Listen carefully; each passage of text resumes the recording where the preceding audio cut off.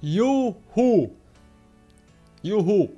Finalmente! E la data di GTA 5 su console Gen. Allora, no, a parte le battute. Finalmente è arrivata la tanto attesa notizia, ovvero la data di lancio della versione PS5, Xbox Series X ed S di GTA 5 che, insomma, potrà finalmente godere del suo mirabolante upgrade a partire dall'11 novembre. Po' tardino rispetto alle attese, eh, praticamente un anno nella nuova generazione per un prodotto non della scorsa ma della precedente ancora. Insomma, le, la vita, il ciclo vitale di GTA 5 verrà ricordato come il più longevo, credo, nella storia dei videogiochi. Probabilmente giusto World of Warcraft ha fatto meglio, o qualche MMO. Ecco, ma tolti gli MMO, tra i prodotti che non mi sono MMO, GTA 5 è l'unico ad aver eh, saputo sopravvivere per tre generazioni filate. Oh, ragazzi, tre generazioni.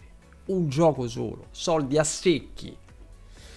Quindi finalmente arriverà questo upgrade che porterà con sé parecchie novità tecniche, contenutistiche non ancora ben specificate, ma appunto ci sarà parecchio materiale inedito, nuovo, affinché la gente possa continuare a giocare al roleplay.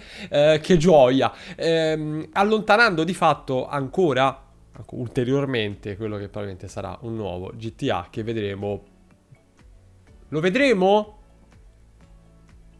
A sto punto non lo so. Poi certo, in questi giorni mi è caduto l'occhio anche su un video che dice a chi serve GTA 6 se può giocare a GTA 5 con una 3000 eh, con una 3090 e 1000 mod installate? Sì vabbè mi pare un attimino un attimino una forzatura ecco come concetto perché sembra veramente che sta nella fantascienza.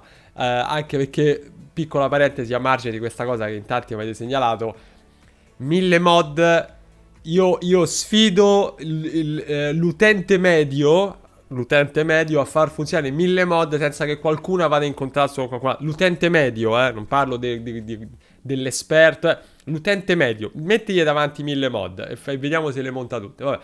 Ehm, al di là di questa piccola mia considerazione, comunque, arriverà finalmente. Spero che questa sia l'ultima generazione in cui avremo a che fare con GTA 5, ma non per il gioco. Io, io GTA 5 lo amo alla follia. O meglio, lo amavo. Ma, no? Abbiamo già detto tante volte, inutile che mi ripeto. Lo am- basta, no? Basta.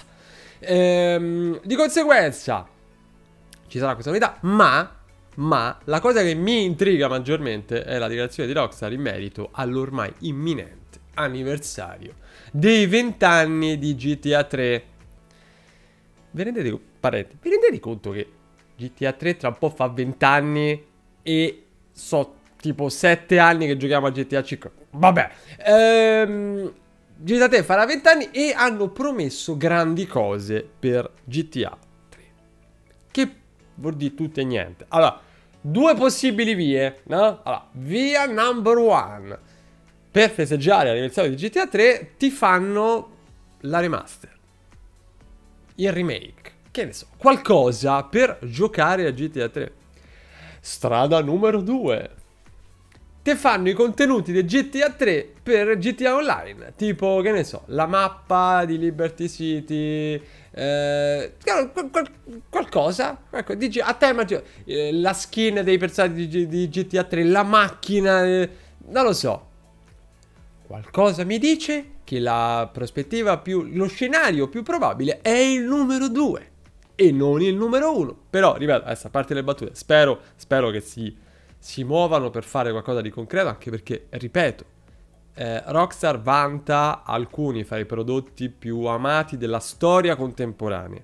I vecchi GTA sono capolavori assoluti riconosciuti come tali da chiunque abbia gli occhi per vedere. Lasciarli lì a morire con versioni vecchie, stravecchie, che ormai non danno nessun tipo di risalto a quelle opere meravigliose per il pubblico contemporaneo. È un delitto. È così difficile mettersi lì a fare una remaster di un gioco così, a fare un remake di un gioco così, con il motore di un GTA nuovo. È così, è così terrificante la prospettiva di guadagnare altri soldi a secchiate. Io, più se va avanti, E più, da una parte comprendo che sia bello stare in spiaggia col cocktail, però dall'altra dico ragazzi, ma vi fanno così tanto schifo i soldi? Con tutto il bene, poi ognuno dice, sai, io, io mi godo il cocktail, non ne voglio, mi basta, c'ho abbastanza cocktail. Allora dici, va bene, c'ho abbastanza, però, no? Anche per... Cioè, per, per, per, per, considerare l'esistenza di un pubblico che non è necessariamente legato a GTA Online e che magari vorrebbe fare una cosa diversa, che non sia sempre GTA Online. Dico così per dire, io in questa sede mi faccio rappresentante di questa ormai minoranza che vuole giocare ai giochi. Sì. Possiamo giocare una volta? Sono sette anni che ci ciccia sempre con ste pasta. Basta, ecco. Eh, comunque, al di, al di, là di queste tristi, angoscianti considerazioni, io credo che questo sia tutto. Non devo dirvi altro. Anche perché non hanno detto altro, per cui eh, c'è poco anche di da sta a pensare, a vedere, a ipotizzare. Quello è. E questo ci prendiamo. Per il momento, quindi, io vi saluterei. Fatemi sapere cosa ne pensate. Vi eh, ovviamente rimando a quando ci saranno novità, ma considerando che le novità eh, riguardano un prodotto in uscita l'11 novembre, a voglia Campacavallo. Ecco. Per cui ragazzi vi mando un abbraccio, grazie come sempre, ci vediamo alla prossima.